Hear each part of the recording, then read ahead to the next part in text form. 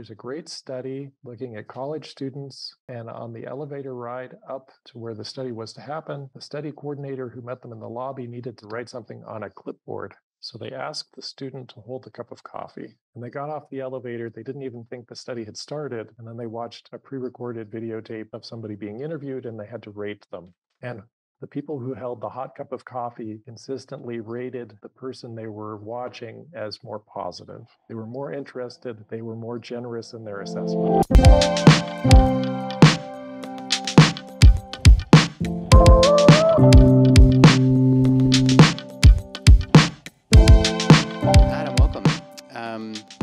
Adam Blanning's here, and uh, this is a bit of a special interview for me because you're also one of my clinical mentors in my anthroposophic medical training, which I just started a couple weeks ago, uh, effectively. Sure. so, um, welcome, Adam, to the show. Um, I'm going to have you introduce yourself, but I, I do think that this is a maybe a little bit heavier of a conversation, a little bit more thoughtful, um, eh, because it Eh, you know, anthroposophic medicine is a little confronting, I think, for people. It shouldn't be, but it is sometimes for people who work in the allopathic model. So let's just pause and I'm going to guide us through three nice deep breaths. And if you're listening, I think you can join us. It'll be a, a nice practice to get ready for a, a very rich conversation. So I'd like everybody just to keep their feet planted flat on the floor, keep your shoulders back, kind of sit upright so that you feel like you're kind of being pulled by a string at the at the base of your skull up to the ceiling. And um, start by blowing all of the air out of your lungs as far as you can go.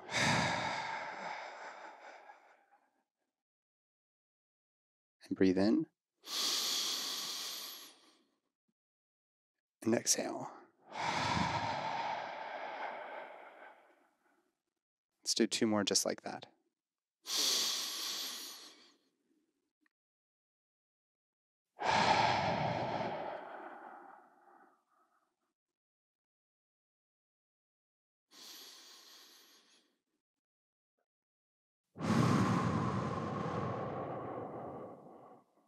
Get all that old air out. Because we got some some heat coming to you today with uh, Dr. Adam Blanning. Adam, um, thanks for joining me today. Why don't you tell us a little bit about yourself? I know you are sort of born of the allopathic model, but you found anthroposophic medicine very, very early on in your training and career. So maybe just give people a brief understanding as to who you are and what you do. You bet. well, I'm Adam Blanning, and I'm a, a family doctor in Colorado.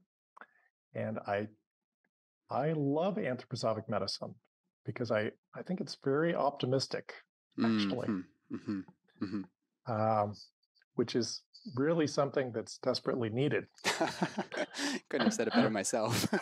um, to, to just sort of look at how we accompany people in health and illness and that it's a developmental process and a companioning process. And I really learned about anthroposophic medicine when I was first in high school, that I met some people who practiced it. I didn't really understand anything about what they did, but they seemed like really nice people Hmm. and they spoke about things in a deeper way that I just felt there there was some truth there. Was that during your medical training as an MD? Um, well, I, I had first glimpses of it already even before college.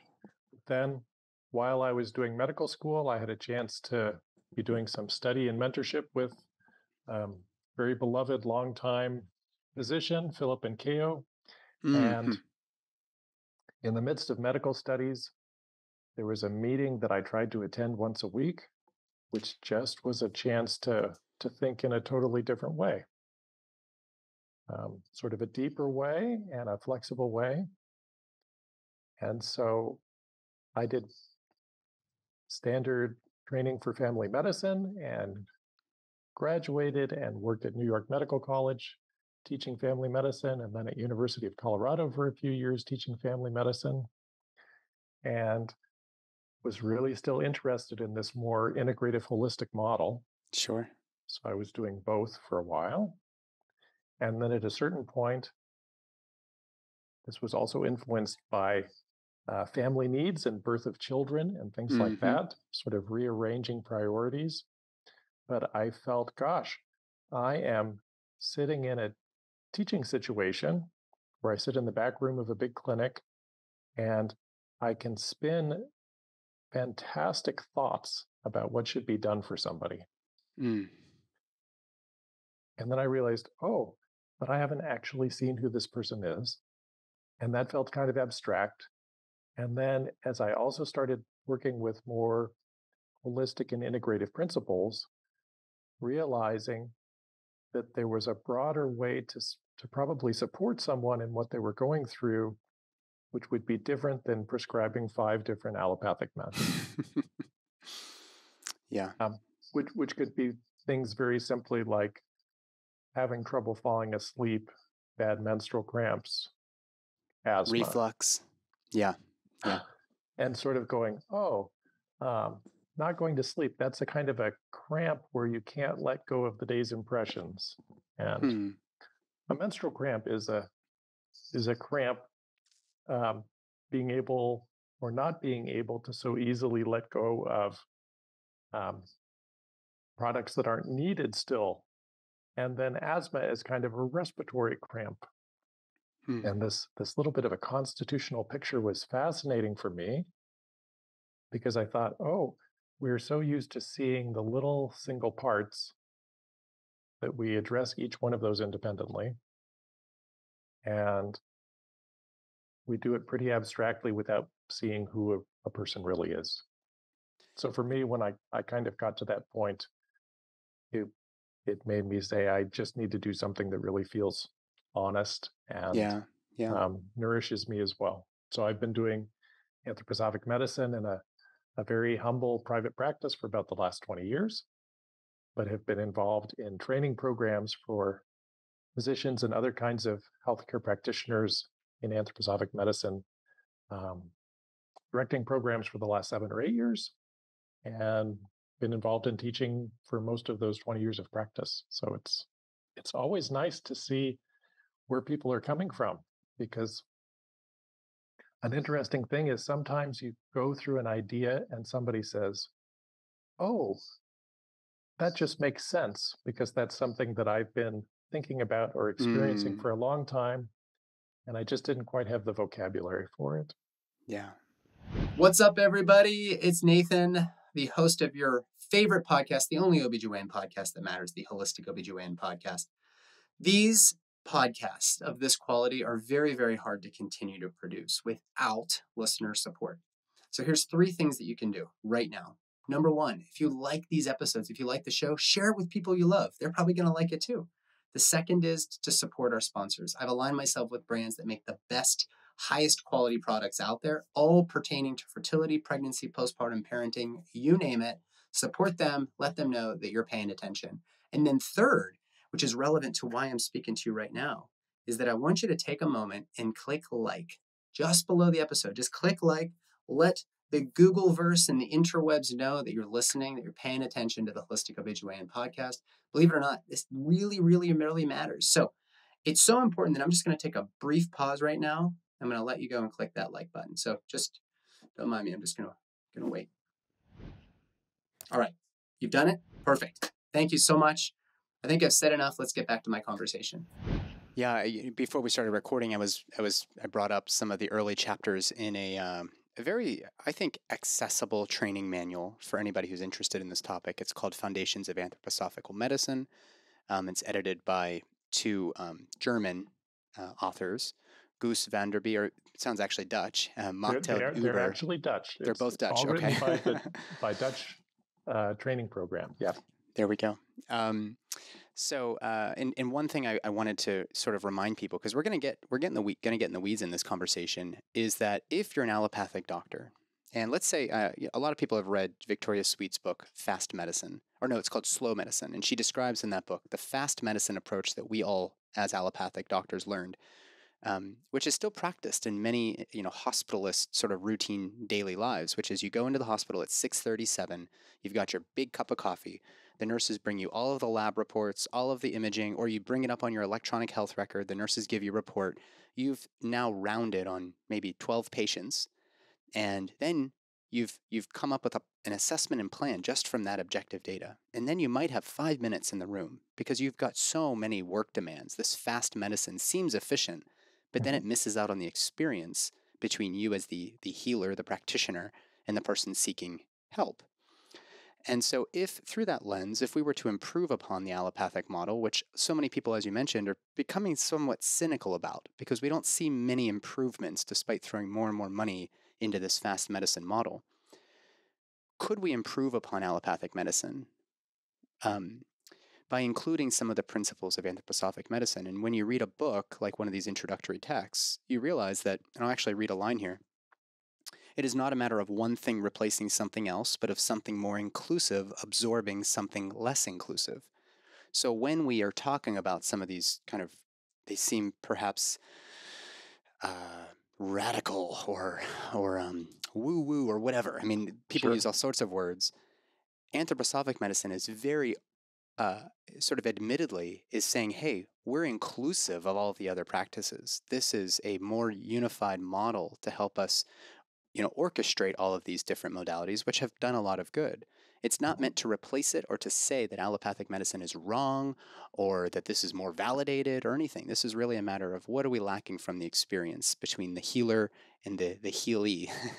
uh-huh. And so um, I actually that's that was very validating for me to start reading these texts, you know, under the you know the the direction of you and your other faculty uh, at PAM, which is the Physicians Association of Anthroposophic Medicine, if I recall. Uh-huh. Um, it's a it's a tongue twister um, because you know like many other people we get through all of this training we look back and we're like gosh that really just like you you said it doesn't it didn't really it's not really serving me. I don't really seem to be doing much to help my patients. I'm just adding more medicines or recommending more imaging or doing more surgery.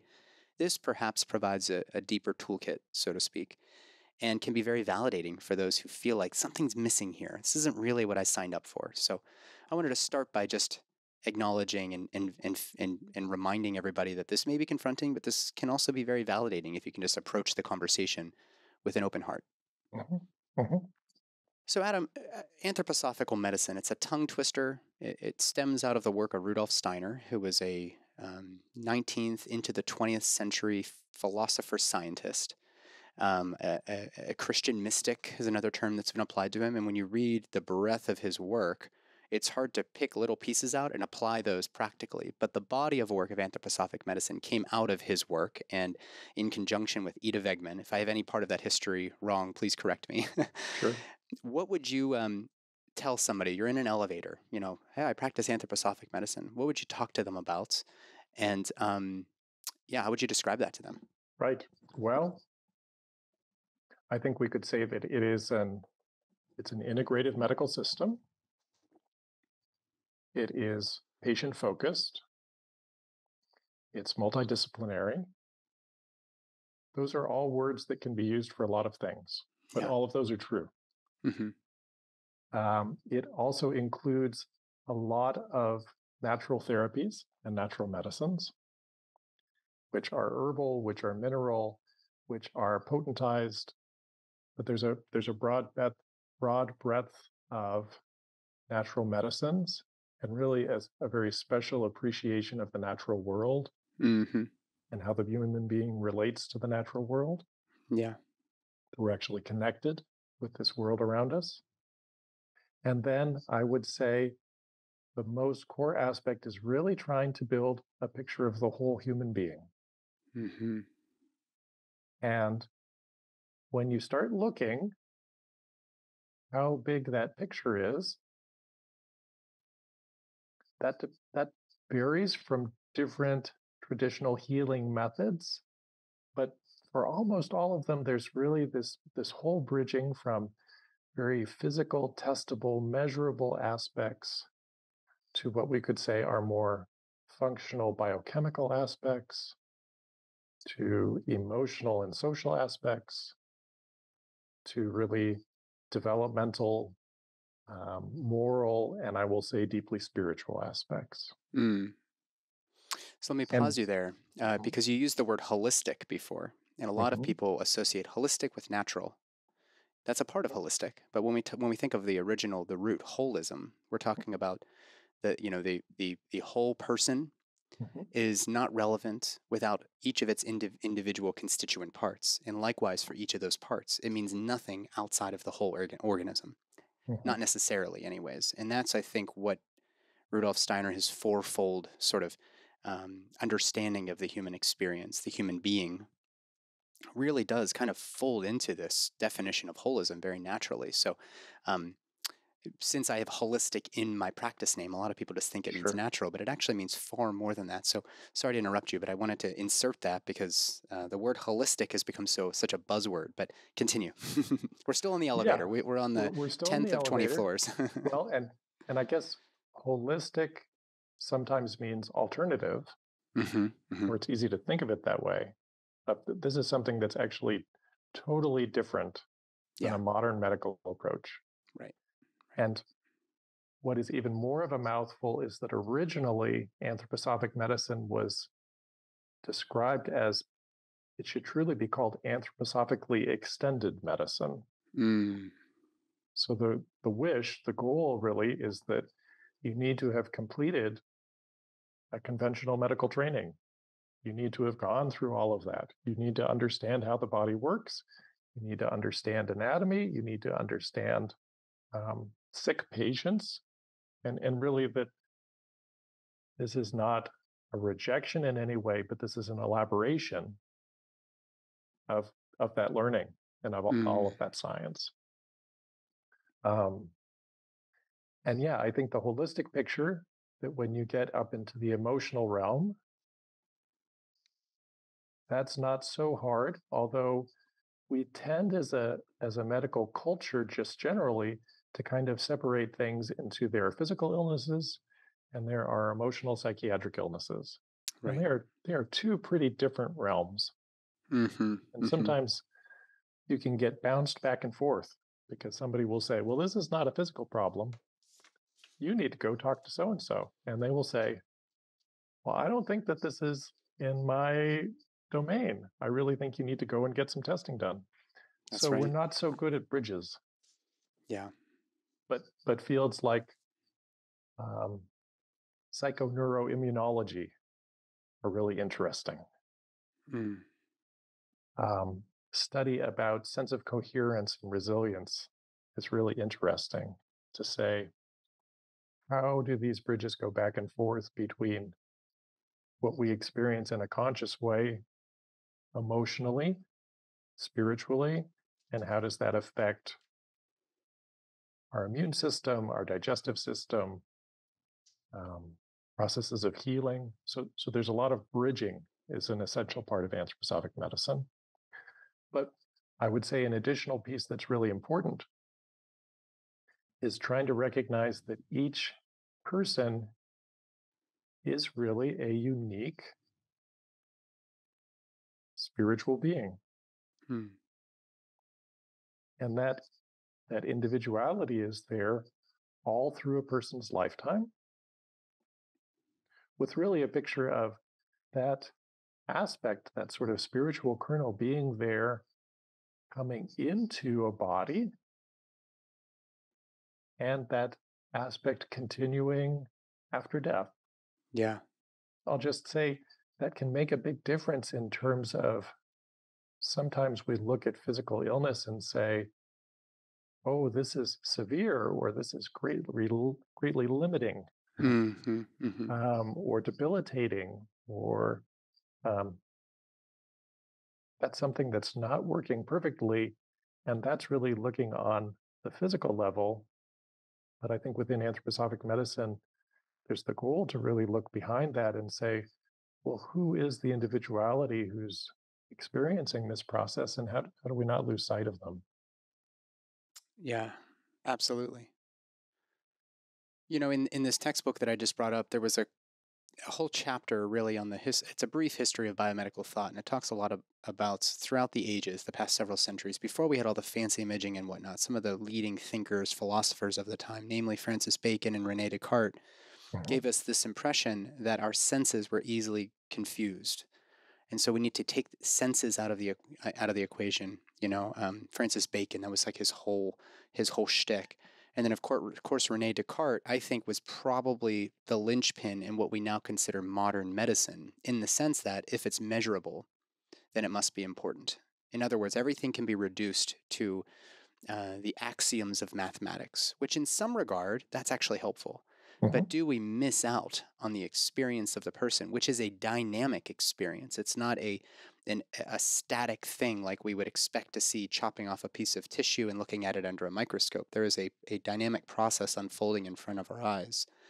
And if we if we um, are not using every one of our senses or even our extrasensory percep- uh, senses, which we'll get into because mm-hmm. that was sort of Rudolf Steiner's contribution, uh, gr- you know, growing on this, uh, extending this conversation further. Mm-hmm.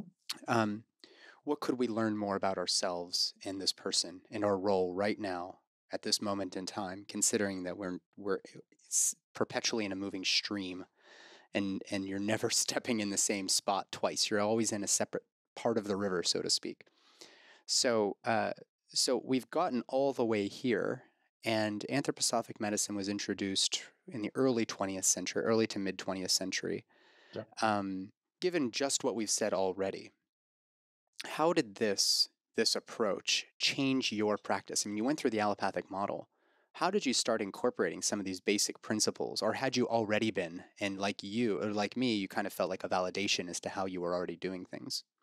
Well, it was definitely a process of evolution. There, there were certain pieces that just felt, oh, good, I feel more at home with that.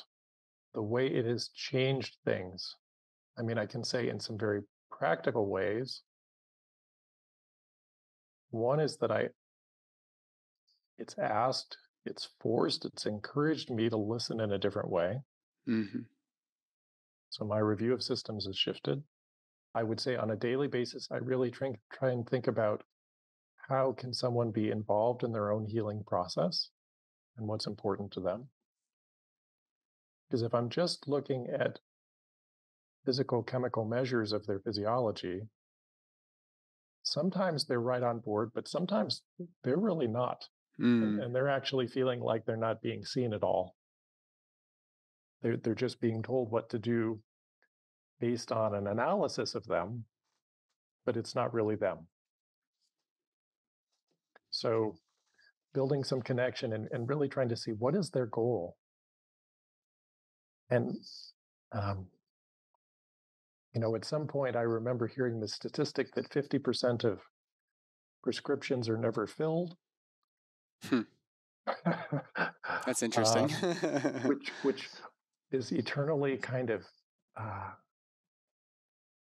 fascinating and a, a little bit of a forehead slapping in terms of we can feel like we're doing a huge amount, but if people aren't really invested in the process, then we're kind of we're kind of spinning wheels, but I don't know how much we're helping them change. Yeah. Um, and then I guess where people are at different stages, I really look at differently. And I can just give a quick example of there are some predictable predictable biographical rhythms. One of the most pronounced ones is that about every seven years we go through sort of a reorientation, which I want to say comes more from a place of what is my intention in life um, and what am I going to do with myself for the next seven years? Hmm. And on the one hand, that looks like a crisis because a lot of people have anxiety symptoms or sometimes depression symptoms. But really, what they're trying to do is make an inventory of what they're involved with and see what are the big priorities for me right now. Hmm. And once I learned about those rhythms and started watching for them a little bit, so it's it's between age six and seven, age 13, 14, age 20, 21. These seven year epics. Yeah. These seven year epics. Yes. I mean, last week I saw two people in a row. One was 34 to 35 and the other was 41 to 42. And it would have been easy to say, oh, this, this person is having really an emotional breakdown. But by describing a process of saying, sometimes we need to loosen and reevaluate in order to find what's the appropriate next step, they were so happy.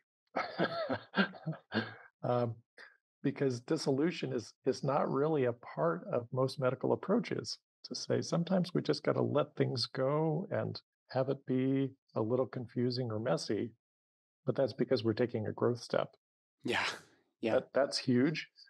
Um, Just a part of growing up, so to speak, and, or growing older for that matter. absolutely. Yeah.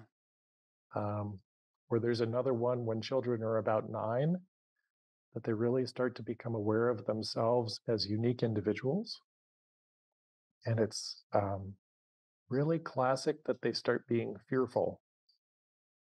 They're worried about robbers, they're worried about tsunamis, they're worried about car accidents because they suddenly feel that they are really their own person in the world.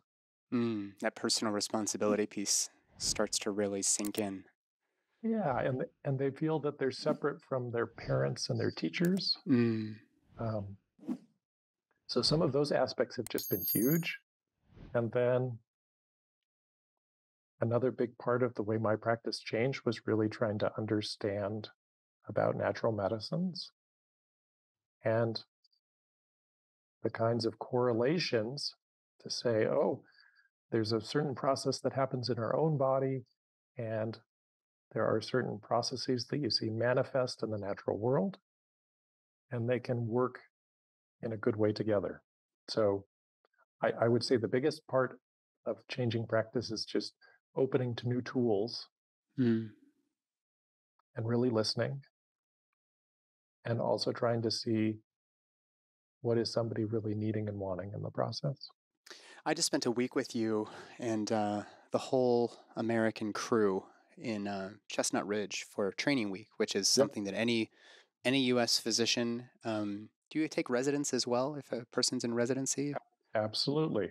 Medical students, Dental medical doctors. I mean, there was nurse practitioners. There was a lot of people from a lot of backgrounds. That was probably the most beautiful part about the week, and it was an intensive week of training um, in a at a beautiful center adjacent to a uh, um, a eurythmy center, which we won't get into here, but that's one of the modalities, the healing modalities within anthroposophic medicine. Um, there was a, a Steiner, um, a Waldorf school. They had a, uh little biodynamic garden. And before I ask you about the fourfold path, that was really kind of new to me that week. I mean, I'd heard about it, but I didn't really get it. So we'll get into that. But sure. I also wanted to comment a, a little observation that I remember coming home with, telling my wife. She was like, "Well, how was it? Did you learn anything new?" And I mean, I'm always doing something new. I'm always I've got so many books, and uh, I was like, you know, for the first time ever, I think I spent more time studying a plant than I spent studying a human. Uh-huh. uh, but it was it was equally valuable. Can you be, briefly, maybe, um, as a segue into the fourfold uh, model of the human being, Mhm. can you talk about the role of plant study and perhaps even some of Steiner's uh, um, inspiration from the work of, of Goethe? Absolutely. So, uh, um, plant study is included as a regular part of the medical training. Now, if you studied every plant in depth, that, that could take years, although that's a nice goal because it's pretty interesting once you've spent some time studying a plant that you have a different relationship to it. Yeah, yeah, for sure. But I could just describe that observation process, which is, it relates a little bit to fast medicine. Hmm. So usually, and at least I'll say this personally, if you have some relationship to plants, but it's not hugely developed, you might look at a plant and go, oh, that's a sunflower. Ding, I know sunflowers. Great, oh, delicious seeds, big yellow, whatever. Like Yep. my grandma used to have them. Yeah, it, yeah. Mhm. You have a you have a personal relationship with it, and that requires no study. You, you've got a personal relationship and you know that, oh, yeah, there's sunflower oil and uh, the toasted seeds are good and they can grow really tall. Yeah. But sometimes our observation really stops at that point. Or we might see a different kind of plant and go, oh, that's unusual. I wonder what that is. I've never seen that before. And we might investigate further, or we- might just say, this is my usual level of engagement, and I know it or I don't, and then I move on. And really, a fascinating part of plant study, especially doing it in a in a group, is looking and trying to describe what you see without immediately putting it in context. Hmm. And if we talked about a sunflower, you might or might not notice that the seeds that are in the center of the flower are in a spiral pattern. Or you might notice the flower so beautifully that you forget to even look and see what the leaves are like. Or you might look at the leaves, but not the stem. And you might have no idea about what the roots of a sunflower look like. So there's this first, this process of really trying to say, what are the details that I see specifically? And going around and, and sharing those in very objective ways. There is a yellow, um, delicate structure that goes off the end of the round part of the plant, which is a, a kind of a very specific way of saying there's a yellow petal on a sunflower. Yeah. But it makes you look differently. Um, and then there are steps about trying to think of this plant, how it grows, what it will look like next month. What did it look like the month before? Which is really getting into a time element, thinking about vitality, thinking about processes of growth. And then as you go through these steps, you start to get an impression what might be the personality of this flower? Uh, if it was a movie star, what would it be like? Or if it was mm. an artist, or because there's there's really a wholeness. We can see there's a beingness about a sunflower. We like sunflowers for a specific reason. And what's fascinating with many healing plants is that this actually works best if you know nothing about the plant is that by going through this process at the end, you start to have a feeling for what is the activity of this plant. And very often, it correlates just incredibly with traditional therapeutic uses of the plant. Mm-hmm. You, can, come to know what something can be helpful for by encountering it and really learning it and loving it and um, engaging and those things are often confirmed through a biochemical analysis. You can find what are the active components. Um, but it's this much deeper relationship to it that actually, I think it's more alive than a lot of what we do in sure medical training and and in sometimes in even patient encounters is is yeah. really this this kind of attention. I think if we approach this type of um, conversation from a very uh, limited allopath or let, us say biochemical sort of lens, mm-hmm. um, you end up, you know, being very uh, confronted by the idea that people living way long ago, like we're mm-hmm. talking ancient Sumer, you know, earliest written human history, that people were still finding therapeutic uses. People were like, how, how could they possibly have known what that did? Or let's look at many indigenous, you know, First Nations uh, uh, groups within the United States who are still they're still carrying on traditions, perhaps, of using various herbs or preparations or whatever in order to heal, gently heal um, various pathologies. What you're what you're really referring to is the this sort of signature, this archetype of what this thing means in nature, yes. and how could that uh, given our experience or, or even just our observations, how might that play in to our healing process or our diagnosis and management of, of disease? I don't think we, you know, it's sort of like saying breastfeeding is good. They, the docs at Harvard said it was good. They did an analysis. Well, do we really need that to know that this works? Perhaps it helps confirm what we've mm-hmm. found, but, but you know, in Western medicine, I think we kind of start there. We like we have to prove it, and then we can start to use it versus, hey, if it's useful, why don't we try to figure out why it's so useful? It's a bit of a paradigm shift, kind of a 180 degree turn in some regards. I don't think that they're exclusive to one another or that they should be divorced from one another, but it is a very, very different approach. And I will tell you, for your listeners, that when Adam was guiding us through this uh, this ex- experience, it wasn't until maybe day five or six that we actually learned what the the type of plant was that we were looking at. And, and we were also there in the early spring before this plant had really generated any new growth. Right. So we've seen how it has developed over time. And the in, and I will say as a as a student of this, that it was almost like doing a physical exam for the very first time in my life, not knowing what pitting edema was. All it was was a a matter of observation. You're going to touch it. Is it cold? Is it warm? Is the skin um, discolored? Does the skin look healthy? Is there hair growing on the skin? Are there ulcers on the skin? Is the skin pitting? Meaning, there I go with the with the, uh, you know, uh, does the skin when I press my finger into the skin, does it rebound quickly or does it fill with blood really quickly or does it stay depressed? I'm not doing a good job of this based on how we did it for the plant, but the point being that when we all started this practice, we actually started with plant study.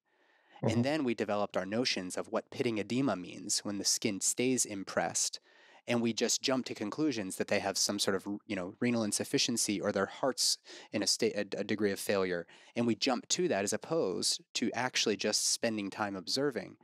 To the credit of most doctors you may not have the time to do all of that whenever you know administrators and whatnot are pressing you to see more people but there is something to be said for just being with the tissue or the, the fingers or the joints or with a stethoscope or with your ear on somebody's chest and just being with it and just allowing the, the observations to unfold without bringing our experience and our, our judgment, I believe is the word that is used in a lot of these texts, yep. to the conversation. Yeah, I think, well, one aspect is I think we sense each other on a lot of different levels. I think we have a lot of senses. Um, doing patient consultations through telehealth. It's an interesting phenomenon. It can be really helpful. It also is limited. Yeah. I see, I work with lots of children. Seeing how a child moves, how they talk, how they engage with you. That tells you a lot about them. Yeah. Aspects of warmth, of physical warmth, of social warmth, of interest warmth. Uh, all of those things I think we sense very much. I do feel that we get input on this bigger level very quickly when you see somebody and your doctor self says sick, not sick. Right. Because there are times that you look at somebody and you just say, ooh, this is not good. Yeah. Something's up here. Something's up. And maybe they're not even complaining of something yet so much, or it's pretty vague, but you say, this mm. makes me concerned. Mm-hmm. And other times somebody's complaining, but you have the feeling actually this is, there's time. We can work on this. It's not an acute emergency. Um, I, I think one aspect of this larger observation also is trying to sense, and I'll use the example of temperature. If somebody's temperature is elevated, is it because they are at the beginning of an illness or is it because they're at the end of an illness? Mm. Or the middle. Let's talk about fever because we were going to get into that anyways. But uh, yeah. this is one of your really, really.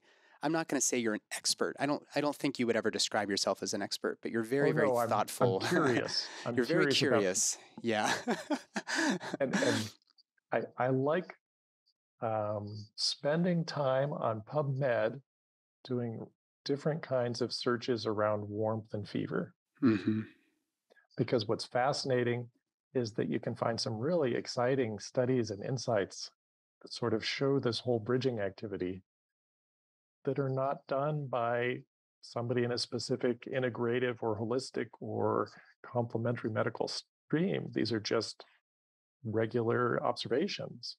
Yeah. Um, and so I, I like to share and teach about this a little bit, but one of the things that blew me away, this was 2020 was the study that showed that actually our assumption that normal body temperature is 98.6,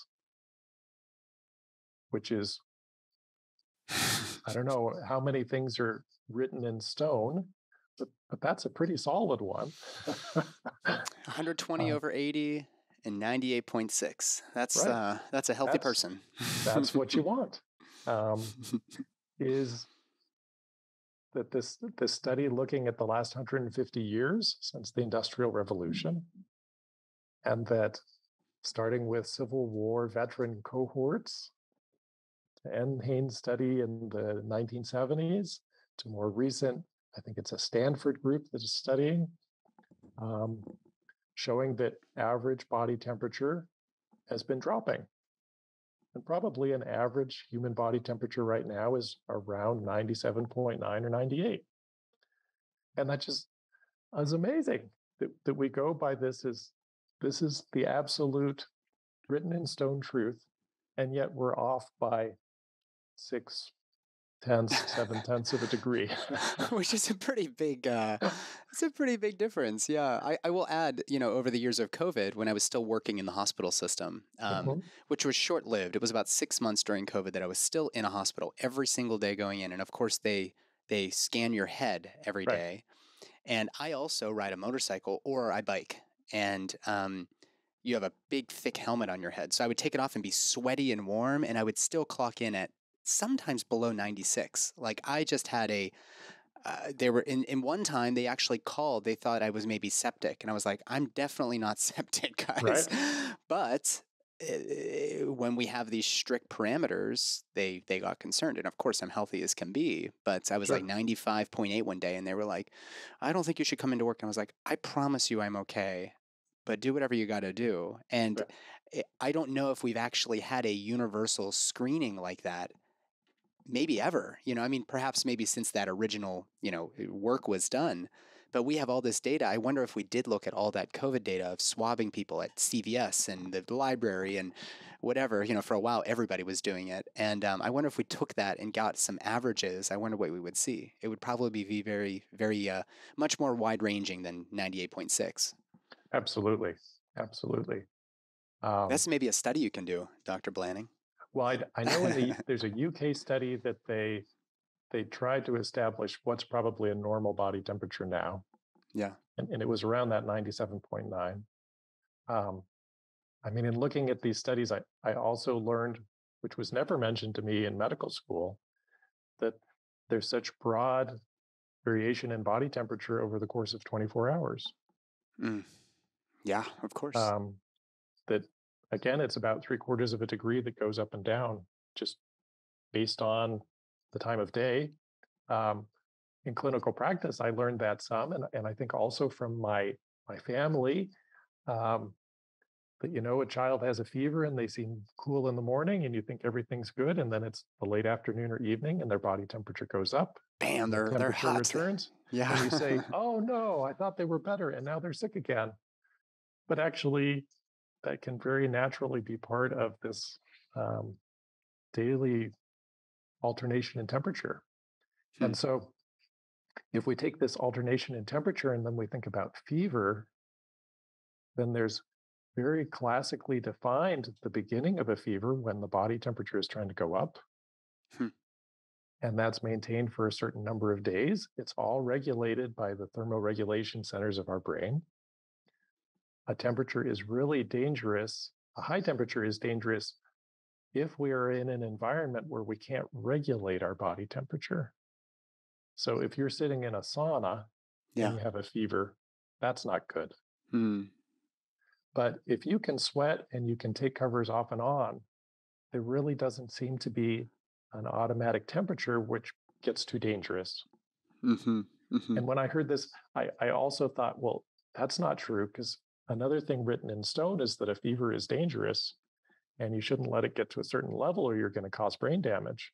Yeah. Um, but there's a report from the American Academy of Pediatrics looking at vast literature on fever, which does not give a cutoff temperature and actually says fever phobia gets in the way of important immune aspects of elevated temperature in terms of decreasing viral replication, um, activity against bacteria, that this sort of knee jerk suppression of fever, we're getting in our way a little bit. Hmm.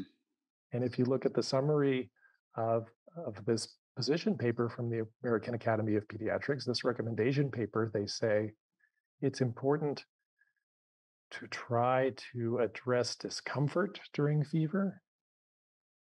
And so Tylenol and ibuprofen have a role in that aspect. They should not be used just to decrease the temperature. Hmm. And this goes for all for children and adults. Well, this is the Pediatric Academy. Pediatric, yeah, right. Okay. So um, I think you see fever most commonly in children and teens. Um, you know, if you have an elderly person who has a very high fever, you probably have to look at that a little bit more carefully. Mm-hmm. Um, but the principle of saying, oh, we don't need to automatically stop it. And then we can take another step and say, this person looks sick.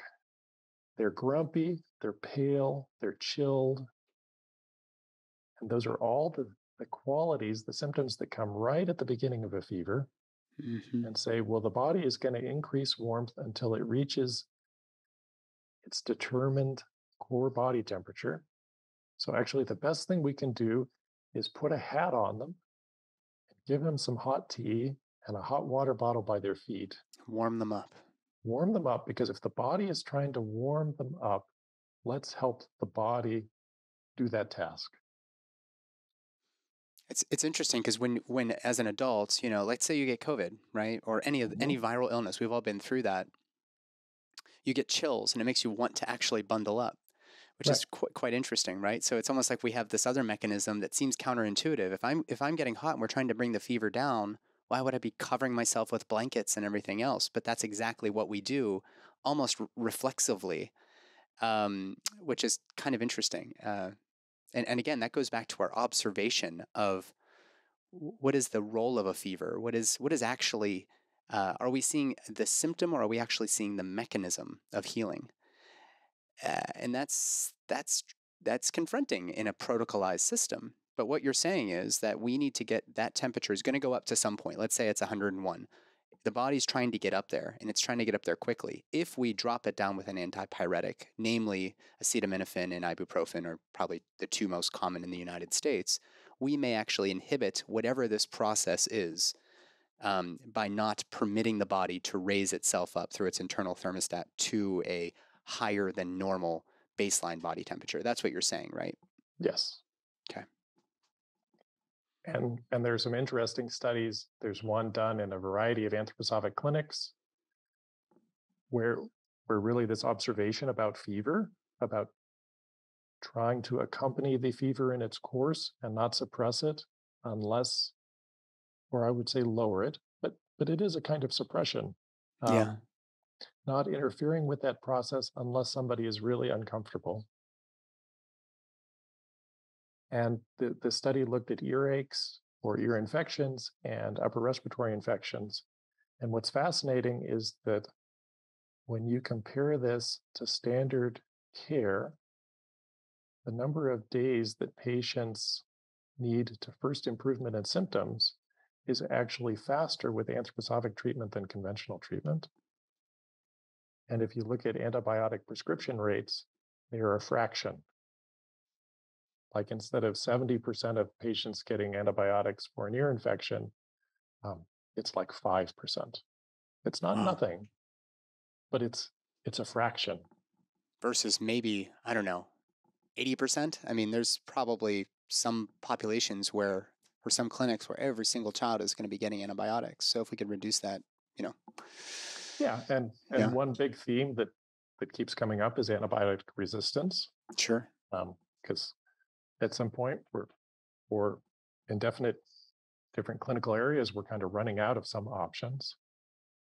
And so i think that that can nudge us in this direction but also just trying to take this little bit broader view and say there is an aspect of the human body which works in time which works with rhythms which is closely connected to vitality and how do we study that and understand it as a friend it's it's really about growth and regeneration. Um, and in lots of healing traditions, there's this understanding of the importance of vitality and and growth forces. Um, and I, I really think it's it's about this broader physiologic view. What do you think happens when, you know, I'm kind of uh, I'm kind of feeding you softballs because you are you are so versed in this. But when an OBGYN talks about pediatrics Mm-hmm. and fevers, and I am a dad, I've got two little girls. Mhm. Um, I I oftentimes tell people, you know, when my little girls get a fever, let's look at Penny, the two and a half year old. She gets these fevers and then wakes up the next day and she has more language. She's got more uh, proprioceptive skills. She's a little bit more, I don't know, she's a little more daring in her balancing as she's going up the stairs or whatever. You know, it seems uh-huh. like something's happening. What is your sort of impression as to why sometimes these fevers are happening without necessarily some sort of infectious impulse for the immune system to go haywire? Yeah.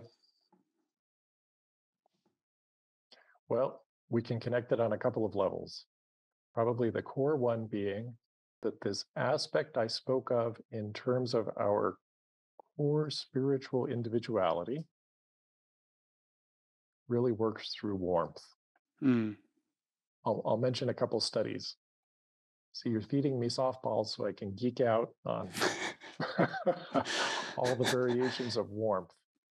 Um, It's one thing to geek out on. A lot of people have, you know, their sports things, they've got their video games. Adam Blanning sits at I- home and I geeks out on fever.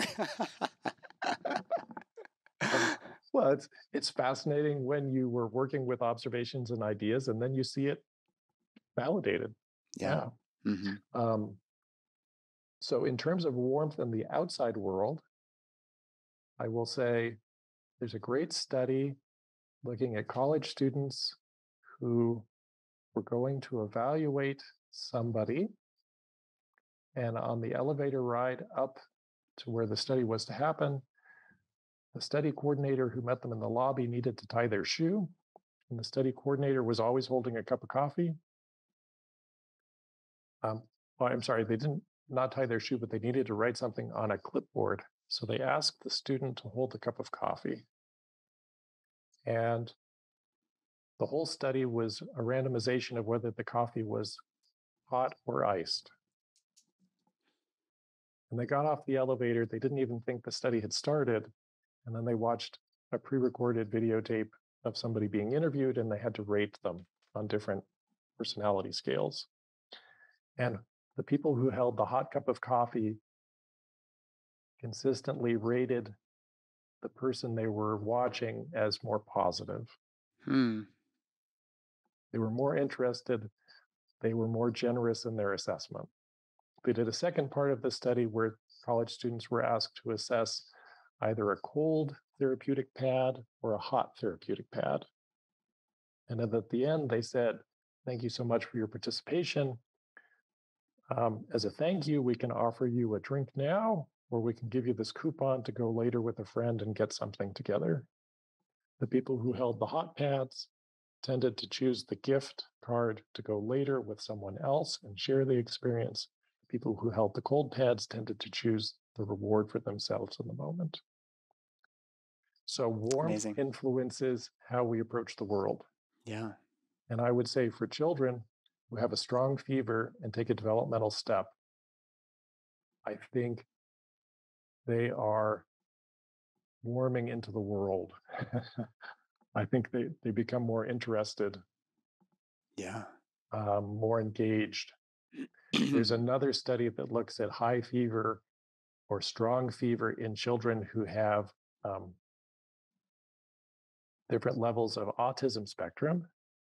And they found that during a high fever, different behaviors in terms of restlessness, in terms of stereotypy, like repeated hand movements, uh, arm flapping, or set phrases that were repeated over and over. There are four different qualities they looked at, and I don't know that I can pull them up from memory this moment, but they all improved during fever. This is per parent ratings. Then the parents rated it again when the fever was done, and then they rated it again seven days later. And the improvement for these children lasted. It wasn't just during the fever. So I would say for someone who is working very hard to find good orientation and good communication through their body. that this really strong warmth experience helps them shift and settle in some way so that they're really more in themselves. Um, hmm. So those are those are some little studies. What, I think is fascinating is I read some commentaries on that article about uh, fever and autism, and people said, well, probably as part of the inflammatory cascade, there is something that is released. And if we could identify that specific, specific aspect, we can synthesize it. And then we can give it as a, a medication to autistic children to stimulate their brains to work in a different way. Hmm. And and that might be true. But I think it's missing this bigger picture of how warmth works on a physical level, on a social level, on a meaning level, and really this kind of aspect of spiritual invitation that comes through a strong warmth experience as well. We, we just love to go to those little, little details. Yeah, yeah. Well, even the nature of how science is practiced. I'm using the, the the big word science. You know, people say it's not that's not backed by science or whatever. Well, in order for something to be studied so precisely, we have to lose every variable that might be interfering with our observation of the cause and effect between an intervention and whatever the outcome is. So the better you know researched a concept is a concept maybe not the right word but a, an association is mm-hmm. the less generalizable it tends to be because we get in the weeds because we want to eliminate all pot- potential interference yeah. um, there's all this noise in other words and we want to just find the signal and sometimes that actually leads us down a path where we're we're we're again we're, we're not practicing holistic a holistic approach where we're, we're going down to this, this granule size outcome without considering that there's a whole person with a whole story before and a whole story coming after. There's a dynamic process that gets missed whenever we try to do that. I, I think there's been a, a good amount of work trying to just reframe things a little bit to say, how do we look at science? What, what does that mean? Um, there are a variety of aspects where when somebody's choosing to take up a certain treatment, we could say that's the placebo effect, but it's it's also this aspect of what are they wanting? What what are they seeking? And I don't know that we can always yeah. claim that um, when it's a randomized trial. I, I will say what is also interesting is there's some studies looking at treatment of chronic illness, usually over, I think, a four year span, where it's things like low back pain um, and headache and um, a variety of a variety of chronic illnesses and then they did kind of quality of life measures and that you could see that people's physical symptoms improved, but so did other measures of health and mood and things like that. Hmm. Um, where, yes, it's nice if we change the back pain, but if we also change the back pain and people feel better overall, and it's sustained for a longer period of time, that that actually has real meaning. Yeah. For yeah. the patients, it has real meaning for the whole health system um, economically, it, it makes a difference. Um, I'll just throw in there's colleagues in Europe who are looking at fever in very specific ways. One is Dr. David Martin in Germany, who has um, something called Fever App, um, which has been endorsed by the German Pediatric Association. You can actually download it to your smartphone and it guides you through how to navigate a fever. And the insurance companies are interested in this because too many people go to the emergency room for a fever. Yeah, of course. Really, it's um, not a big concern.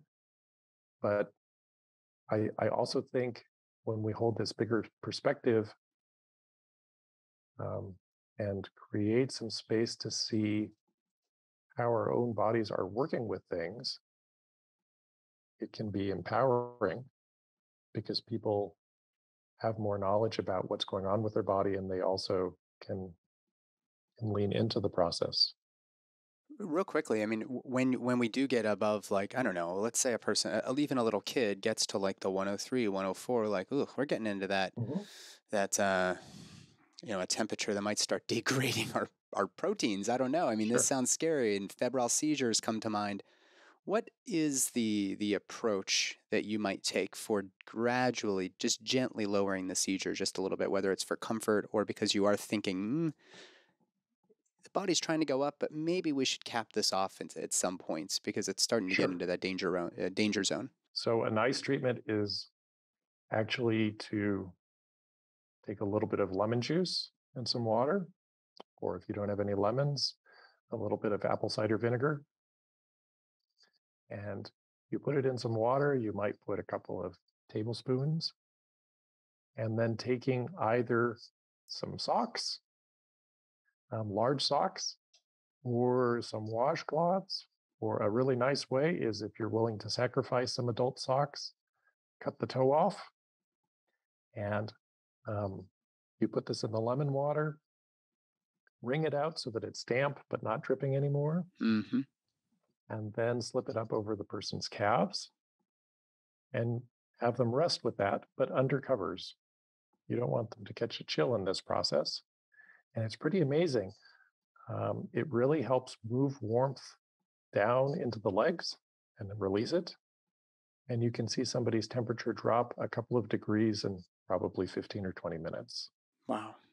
It doesn't stop the whole process, but it moves the warmth. And I, I've done this with my own children where you say, is somebody really just uncomfortable or is there a danger? And when the temperature goes down, it gives you a window to see how are they?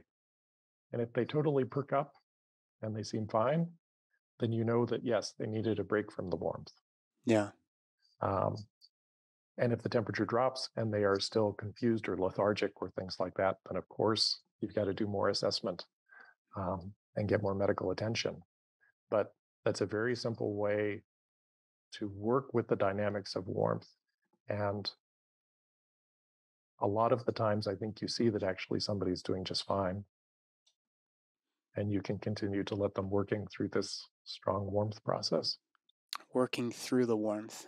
I think that that's a really beautiful uh, summary of your sort of approach to fever is that there is some function to this. This is not a necessarily something that is going to be catastrophic.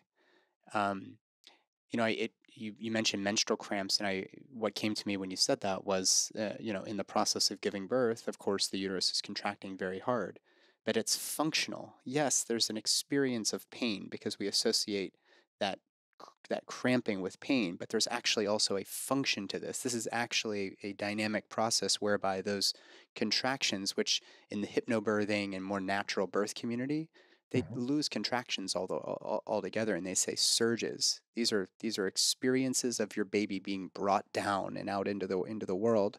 And when you can reframe that, it actually makes it seem a lot less um, confronting or or scary so to speak, uh, for many women. Um, and the same, I think, could be said for virtually everything, including fever, is to reframe our language around it a little bit. Um, let's help this person work through it versus let's battle it or let's. Um, let's you know knock it out with these antipyretics or whatever that there's a probably some reason the body is going through this so let's help to encourage that and facilitate that as opposed to halting it and uh, wiping our brow you know close call right yes yes um, people actually get better faster. Yeah, when, I'm sure. When we when we uh, can can reach in and understand the process. Um, yeah, it's it's just interesting. We we all have sort of different inclinations too. Um, there's some children who get a fever and burn very strongly for 24 hours and they're done. Hmm. And they may have a sibling who never really gets a fever, but is going to have that cold and nagging cough for two and a half weeks. Yeah. Yeah. Um, huh. And you, it's not an absolute thing, but but when you're looking for the gestures, they're, they're definitely there. Yeah.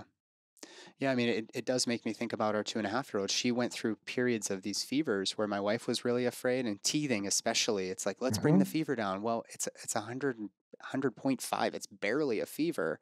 And yes, she's a little bit uncomfortable, but is her body doing something? Is this fever not a an infection, but perhaps a part of the remodeling of the entire jaw as a tooth is coming right. up through? And and so, I mean, I'm making it very.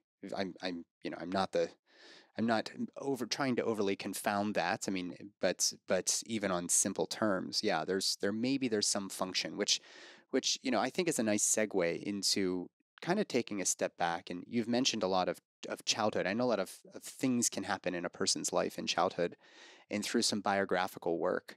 Um, you mm-hmm. might be able to pair up things that appear later in a later epic, these seven year epics, um, sort of in, in a mirror to what happened in the earlier epics but you know but without getting into the biographical work i think what's important is maybe if you could i, I want to be respectful of your time as well but maybe you could just uh, describe what steiner's fourfold model of the human being um, sure. which can be applied to any living or non-living thing really um, mm-hmm. can you describe that real quickly you bet and um, steiner elaborated on this but a, a fourfold model has been there for a long time the, the Greeks talked about it too, and the Romans, and we can talk about it in terms of four elements earth, water, air, and fire.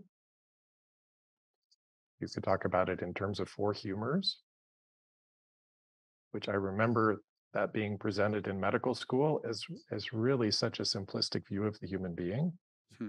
which, if we take it um, in a straightforward way and saying, yes, you need to be bled or you have too much black bile or things like that, that doesn't really make sense. It, yeah. doesn't fit. Yeah. But it's easy it, to take Galen out of context. Uh, yes. you know, I obviously he didn't ever have everything right. In fact, he may have done some some damage as to how we uh, now perceive of you know through our lens of biomedical thought contemporarily. But if you read that work and try to apply it to your you know modern uh, Guyton's tech you know textbook on physiology, it's going to mm-hmm. sound like wackadoo. But mm-hmm. there's probably more to it that we just don't really have context for. So go ahead, continue. Yeah, I, I think in some ways it's really about four lenses mm-hmm. or, or mm-hmm. four, four interweaving aspects. Um, first is physical body. What can be measured? What can be x rayed? What can be biopsied and fixed and seen under a microscope. Um, and this is really the substance of the body. And that's essential. Mm-hmm. We work with that all of the time. And knowing yeah. how that works is really important. But so things which can be easily quantifiably measured tend to fall into that category. And we tend to move to that category when we're doing testing and assessment in lots of different ways. Right, right. I think a second level is more this aspect of time, of how do we grow and change over time, a study of vitality, a study of growth, and that we really have regenerative forces in us a very striking example for me is the difference between seeing someone who is in a coma versus someone who has died. There's just it's a different in vitality. It's different. You can, yeah. you can say something missing. it has to do with gravity. It has to do with the fluid sinking. Yes, all true, but there's also an aspect of of the vitality is just different, and we can also say it's the difference between a stone and a plant. Hmm. Stone's not going to change in time. It doesn't have its own vitality, but a plant is changing. It's growing. It will look different in the future than it did in the past. So, the second aspect of time and growth forces is, is really a whole aspect of the human being. And in anthroposophic medicine, that's usually described as parts of the etheric forces. Um, Then a third aspect really has to do with emotion, with sensation, with particular types of ways that we sense things, that we feel things, um, specialized activities where we can say the kidney is a very specific organ. It is working to filter fluid out and then absorb it back in. Hmm. And actually, it's not so much an excretion organ; it's a it's a sensing organ that we release and then we absorb 90% of it back. Hmm. It's not a very efficient technical model. Um, it's a lot of fluid movement there without a it's lot, of of output. movement for just choosing. You know, if, if you were looking for a book on your bookcase, you wouldn't take 10 books off and then put nine of them back. um, Not routinely, probably. yeah. Um, or what is the difference between somebody who has high blood pressure, which is very much related to stress and anxiety, and they get pale and it's terrible white coat hypertension, Mm. versus somebody who is rounder and red and never feels whether their blood pressure is high and nothing fazes them. Those are different types of blood Absolutely. pressure. Yeah. Yeah. And this is more in this sensation, uh, emotional, and, and then also particular gestures or archetypes of physiology. And in anthroposophic medicine, that's spoken about as astral forces. And then the the third, or I'm sorry, the fourth aspect is is really this spiritual aspect of who someone is as an individuality, The I. the I. Yeah. And the anthroposophic word for that is the I, because Mm. we not not the organ that we see with the eye, but the capital letter I, because that's a word that we can only use in reference to ourselves. Right. So we've got the solid, we've got the Mhm. the mineral body, I think is maybe a way to put it. Mhm, Then we have the plant kingdom in our mhm, in our, our classification system, but obviously there's a spectrum there. That's where plants have an etheric force which separates it from the rock. It's just something Mhm. we intuitively get. But then obviously Labradors or cows are separate from the plants because they seem to have this feeling component. Plants are intelligent, they're thinking, sensing beings, but the feeling, uh, the uh, perhaps the emotional side of of the experience, there's something different in a cow that you don't get with a plant. And then the humans are are you have the ability to be aware of this entire sort of hierarchy, so to speak. It's not really a hierarchy, but you know the word I Mhm. think serves. mhm. Um, yeah, so this is the fourfold model. Go ahead. If you know, I'm, I'm sure you were going yeah, to I think tie we it all could together. say we could say substance, growth, awareness, self-awareness Mm, I love would that. be another way to describe it. That that step from plants to animals, we, we also see amazing kind of specialization and differentiation in animals. They can do incredible things. Yeah. Uh, dolphins swim as masters. Um, a beaver can cut down trees beautifully. Uh, a cow can chew cud and digest grass in a way that certainly no human being can do. And then, as human beings, we're actually not so specialized. We're, we're not as good at swimming, or is it cutting down trees, or digesting as these other things. But we have many different capacities within us. And this, this ability to be reflective about what we're doing and, and intentional in a way that's that's beyond an instinctive capacity. Yeah. And Right. and that's that spiritual aspect of not only what am I doing, but why am I doing it and what is unique for my path. Yeah. Yeah.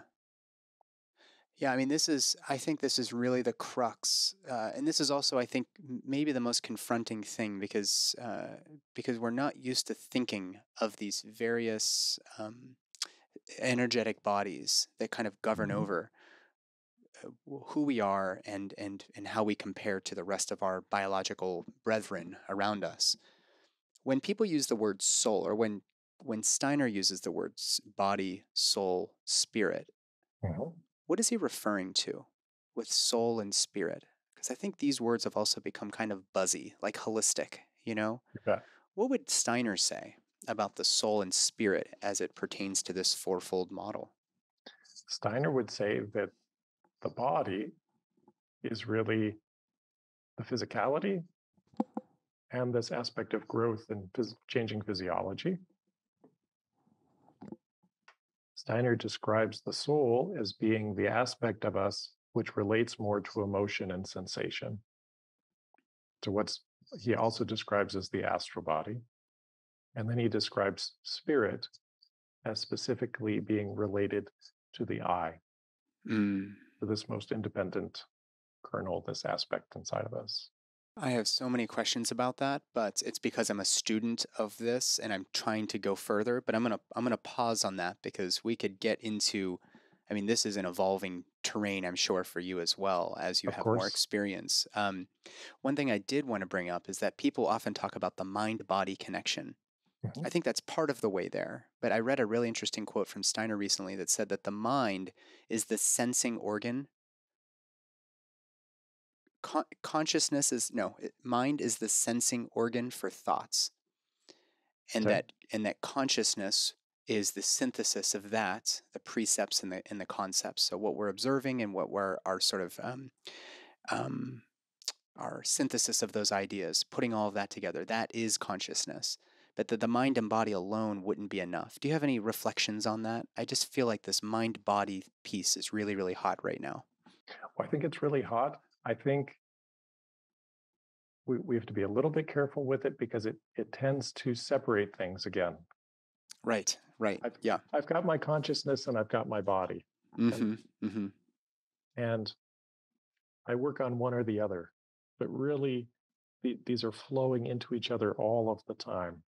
Yeah. Um, and we tend to think about mind as being the part of us which is consciously accessible through thought. But even if we just look at our nervous system, we've got our got our our brain, which is much more related to this consciousness aspect. But then we've got a sympathetic nervous system, mm. which is accessible to consciousness, but it's doing a lot of things on its own. And then we've got a parasympathetic nervous system, which is mostly unconscious. Mm. And, you know, estimations that if you look at the ganglion of the parasympathetic nervous system, there's as many nerves there as there are in the central nervous system. Right. Um, so I think that's just a beautiful picture of this bridging. And the parts that we can consciously feel, that's where we tend to put all of our eggs in the basket, but it's just a part. Yeah. In, this, in the same way that we could say only this, the parts of the human being that I can physically, chemically test are real and nothing else is real. That's a part, but it's not the whole reality. You can have somebody be very sick physically and finding tremendous meaning and importance in what they're doing. And you can have somebody be physically well and not be finding that purpose and connection and intention because we, we tend to equate one with the other. And they're, they're, they're different ends of this bridge. Um, so it, it's so nice to be trying to understand that bridge so that we can see is this a moment where I really need to focus on physical testing and control this process, guide this process? Or is this a time when I really just need to uh, respect and honor this person's experience? Yeah, I, you know, we this is the study of esotericism in general tends to lead down these paths where it's you've got more questions than answers at the end of the at the end of that a particular conversation. Um, I remembered the quote, by the way. It was that thinking is the sense organ for concepts and ideas, which I think is a really fascinating uh, tremendously difficult um, thing to acquire and then to kind of go forth with. But these little kernels, I think, really will help us, I think, bring forth a, a, uh, a more comprehensive, integrative approach to healing. Um, so thank you for doing your best in answering some of these hard questions. I did have one final question because I think a lot of people are going to be wondering when you said natural remedies earlier, and then you mm-hmm. also used the word pot- potent potentized. Is that the potentized? Is that the yeah, word potentized. you used? Mm-hmm. We are talking about dilutional remedies. Mm-hmm. And um, some people immediately go to homeopathy, but mm-hmm. the, the the approach to remedies within the lens of anthroposophic through the lens of anthroposophic medicine is quite different from traditional homeopathy. Can you maybe talk a little bit about um, I remember we had a great pharmacist. I can't remember his name at our training week. Uh, Albert Schmidley. Albert Schmidley. What a great guy. He did a, a really interesting rendition as to how some of these remedies, which are all plant derived, mostly plant derived, some of them mm-hmm. also just mineral derived, um, from the sensing organs, the roots, the sort of flow structures, the, the uh, oh, do I have that right? The roots are the sensing and then we have the, the metabolic components which are our flowers and buds and then we mm-hmm. have this sort of this flow this this giant stem in a sunflower a very very tiny stem in your petunias um, he broke that down as a means of trying to understand from a pharmacologic standpoint how these remedies are created can you can you maybe assuage some people's hesitations around a dilutional therapy um, mm-hmm. maybe through the lens of what albert was teaching us at at uh, training which which by the way was way over my head but i was like this guy might be a genius and i need to study this a little harder.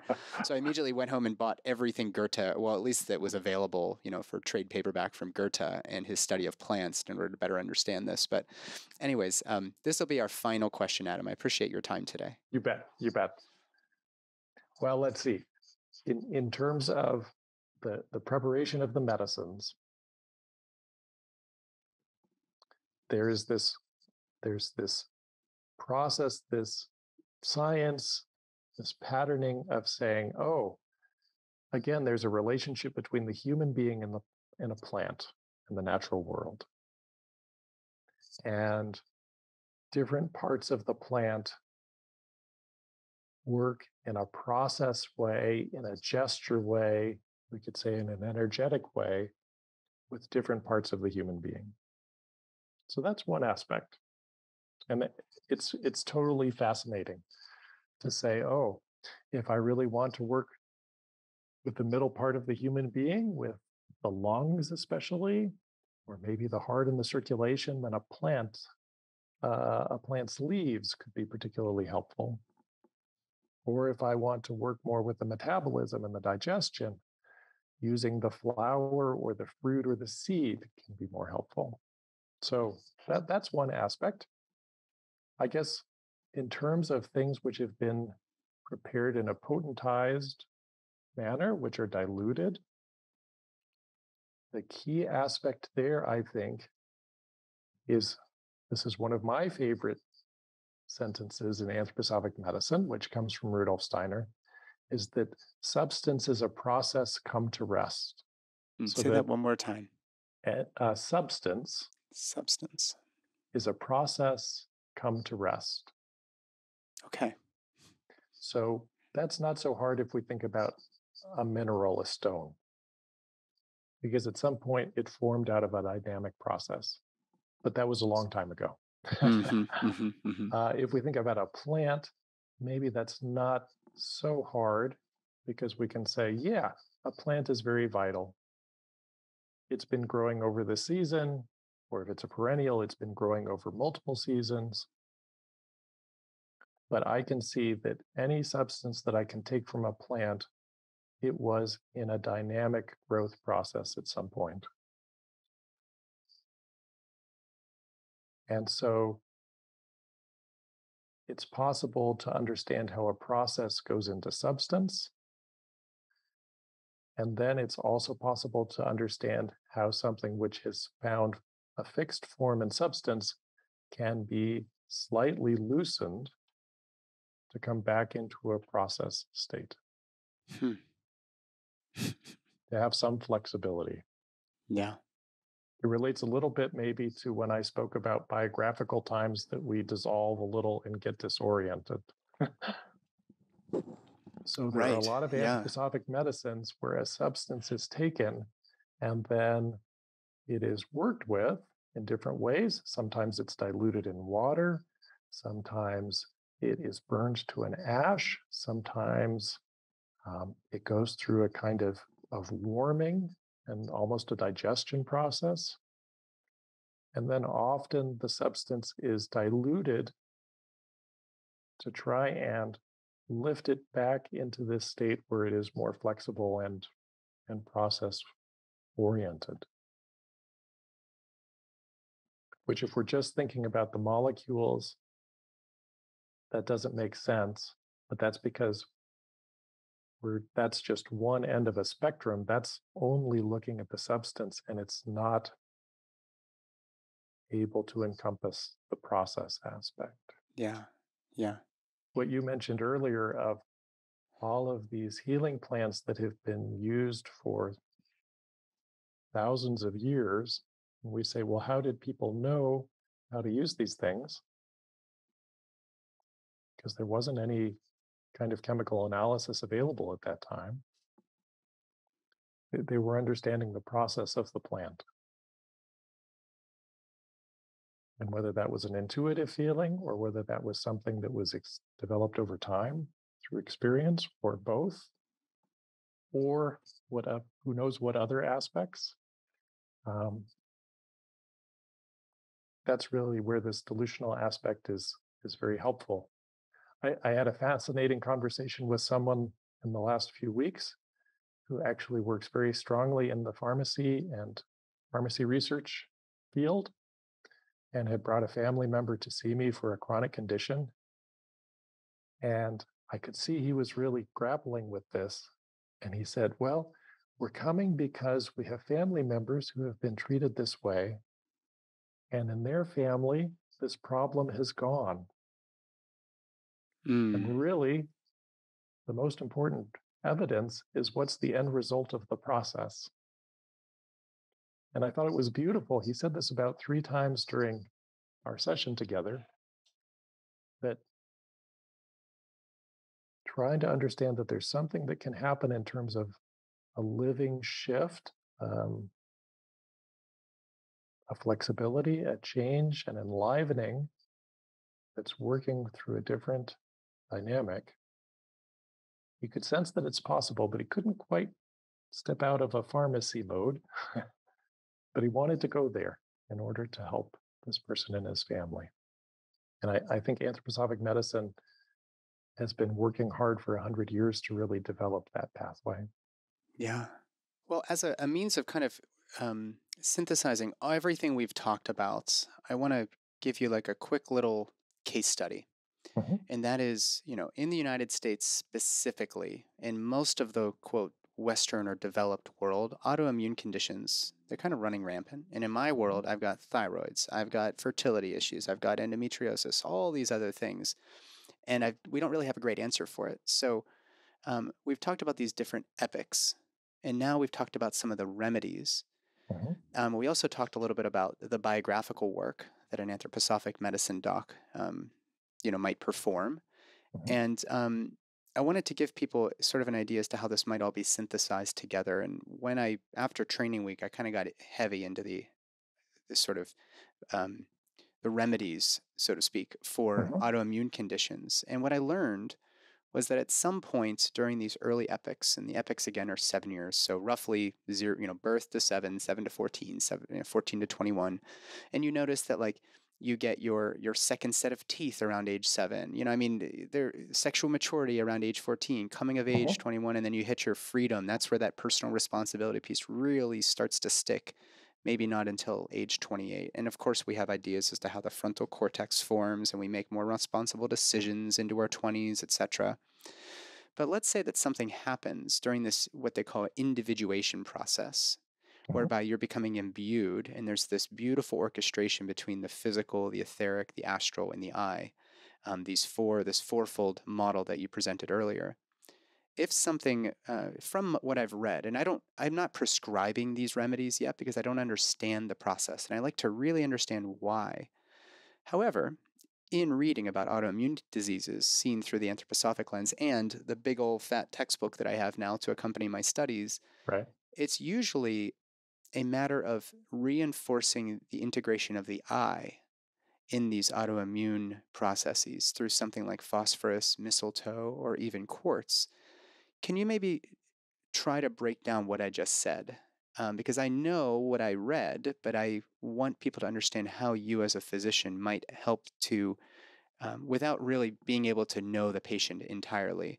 Mm-hmm. Maybe you can help them understand why those remedies are necessarily beneficial for something that happened way long ago that you're actually mm-hmm. experiencing painfully or otherwise now.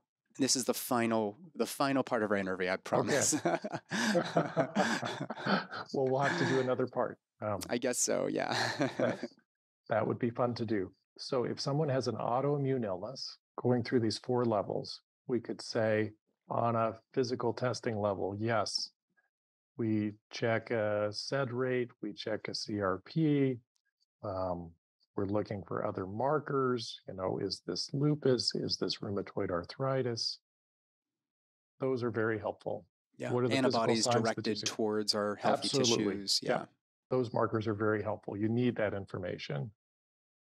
I guess a second level in terms of time can be to say, gosh, this person is reacting in a way that probably stems from some kind of immune intention to really defend the body or some confusion. Mm. And so, how could we help somebody really release something that's caused irritation? Let's say somebody has um, the development of an autoimmune illness after some kind of exposure, or they're developing it in a postpartum period where there's been shifts in immune system activity, or somebody develops chronic hives that's more allergic, but but but there are these places where you could say, what what's happened as a stimulus that the immune system is is being irritated, and how can I help the body release that? So there, there are different kinds of ways to support the liver and the kidneys to say, let's really clear out substance that might be bothering you. So the second level is helping someone looking at time and release. A third level can be to say, there's inflammation happening, which is really not consciously guided fully. Mm. And sometimes that happens because there's a chronic irritation. Like, let's say the association between gluten sensitivity or celiac disease, and then an autoimmune thyroiditis, where the immune system is constantly being irritated, constantly being challenged. And in that process, it gets a little bit misguided so that it's reacting, but without full intention. And so trying to see, well, what's the pattern that's happening here over and over again? And how can we understand and re-guide that pattern? And then a final aspect can be, or maybe it's the first aspect, is to say, how can we really help someone strengthen to know what is their intention? How do we help strengthen their I? Because some of the medicines that you mentioned in terms of phosphorus or quartz, these are very important things therapeutically that can help us feel really who we are and where our boundary is. Mm-hmm. And sometimes there are relationships between autoimmune illnesses and shocks or trauma, or something happened, and we weren't really able to be self defining after that point. Or yeah. we've been so busy pleasing and taking care of other people that we've lost our own ability to self define and self care. So this aspect of treating the I with these these strengthening remedies is really trying to say let's also help support the person who's guiding the ship. And uh, that's important for future as well. Because what's happening is inflammation at the moment that may be something that's washed downstream from experiences or imbalances of last week or last month or a decade ago and how do we change course so that it's really going to be different in future. Wow. Well there's a lot more of course to unpack with that and uh, but i you know if you're listening out there and this is all new to you you can understand that there's quite a bit of difference between what adam what you just said and the um, quick diagnosis take this pill or have this surgery approach, which may be helpful for a lot of people, but is it really getting at what what happened across the whole journey that brought you here into my office that may be contributing to this? Which you could call it root cause, you could call it root cause or whatever else, but it, it's actually even it's actually even broader than that, and I that's what I I love so much about eh, what what I'm learning to do with your help, and um, I think that if we can as a as a society, if we can start to wrap our heads around the, the, the possibility that hey, maybe we've reached the limits, so to speak, of what the strictly allopathic model, the fast medicine model, is able to offer us. If we could take a step back and just be willing to say, hey, let's let's keep this, let's integrate it into a, a more whole person approach. Could we see better results? We certainly don't have anything to lose. And um, I think everybody, eh, you probably have a very busy practice because you have such a, uh, you're so, um, I don't want to say good bedside manner because it's so cliche, but you have like this warmth about you where, where in order to to be able to share some of these vulnerable things, maybe it's past traumas, whatever else, I think it also is reflected in just how you show up as a teacher. Is you're so warm and you just seem like eh, you're safe to share these things with and and I think that that's also lacking in the fast medical model, where you get to see your doc for. I remember reading a British medical journal study that showed that in the average primary care visit, um, that a patient gets 22 seconds to speak before their doctor jumps in and starts to diagnose and treat their their issue. You know, right. Um, and so what you're describing takes a lot of time, but I think it also would be very therapeutic for us as as physicians to be able to really get to know a person better before we start trying to implement tools. So I said a lot there. All of it is to say thank you for for showing up in the way that you do and for spending time with me today. Um, is there any final thoughts, or do you want to maybe direct people towards PAAM in order to, you know, maybe there's somebody out there that sure. wants to join us next year for training week or otherwise? Absolutely. Well, the the training conference that Nathan described, it's happening early May. It'll be in Colorado this year. It's moving around a little bit. And a mentor told me if you want to find water, don't dig a bunch of holes, dig one deep hole. and uh, we, we can't do that every day. We can't do that all the time. Prednisone is still really important for autoimmune illness at different times, but there are so many more options and viewpoints for it. Yeah and you get to the place where you say, there's got to be more than just another course of prednisone. Yeah. Um, and I think when, when you're exploring these broader aspects of medicine, it doesn't mean that you have to change everything that you're doing. It can just be saying, there are some times with some patients that I would like to dig deeper. And I'd like to have some guidance and community to be able to explore that because it has huge meaning for the people um, who can do that. And and I really think as a practitioner, it brings great meaning. And I started by saying I think anthroposophic medicine is actually very an opt- a very optimistic medicine because I think you see these processes of development and change and say, what I'm doing has meaning. I love doing this. So, mm. yeah. Well, thank you so much, Adam. Um, where can people go? I mean, where, where would you like them to go? Either to reach out to you with questions yeah. or to uh, maybe even join us. I'd be fun to meet somebody Absolutely. who's a listener of the show. Maybe I'll be so, the uh, uh, the vanguard here for the OBGYN community too. that would be nice. That would be nice. Um, you can go to the website, which is Anthroposophic Medicine. That's A N T H R O P O S O P H I C medicine. There's also a, an international website, which is Anthromedics, which has a lot of good introductory material.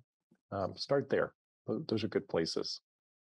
and happy to answer any questions and would love to see people at the training course next year or some of the webinars and things that we do during the rest of the year as well. All right. Thank you so much, Adam. I'll see you, you actually tomorrow night for class. We'll keep studying. Absolutely.